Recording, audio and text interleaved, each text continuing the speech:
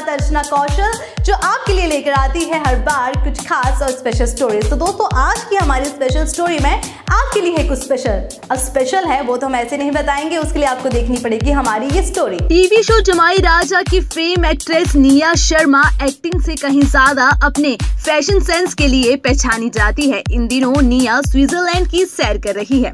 Actress ने Instagram पर vacation की कई तस्वीरें साझा की हैं, जिसमें वो छुट्टियों का खुलकर मज़ा लेती नज़र आ रही हैं।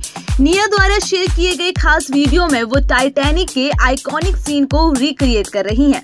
सिजलिंग लुक में नज़र आ रही निया इन वीडियो में अकेली ही दिखाई दे रही हैं। बैकग्राउंड में हॉलीवुड सिंगर सिलिन डियोन का गाना my heart will go on बज रहा है मालूम हो कि इन दिनों टीवी शो इश्क में मरजावा में नज़र आ रही निया शूटिंग से ब्रेक लेकर स्विट्जरलैंड की सैर कर रही है। निया शर्मा छोटे पर्दे की बड़ी स्टार बन चुकी हैं और एशिया की तीसरी मोस्ट सेक्सी वुमेन का खिताब भी पा चुकी है। यही नहीं, निया की वेब सीरीज़ ट्विस्टेड का दूसरा सीज़न भी हिट है। बता दें कि निया ने अपने करियर की शुरुआत टीवी शो काली से की थी। उन्हें असली पहचान एक हज़ारों में मेरी बहना है और जमाई राजा से मिली। इसके अलावा एक्ट्रेस खतरों के खिलाड़ी सीज़न एट में नज़र आ चुकी हैं। दिल्ली में जन्मी निया ने मास कम्युनिकेशन में ग्रेजुएशन कर रखी है और उनकी असली नाम नेहा शर्मा है। इन दिनों निया टीवी शो इश्क में मरजावा में नज़र आ रही है।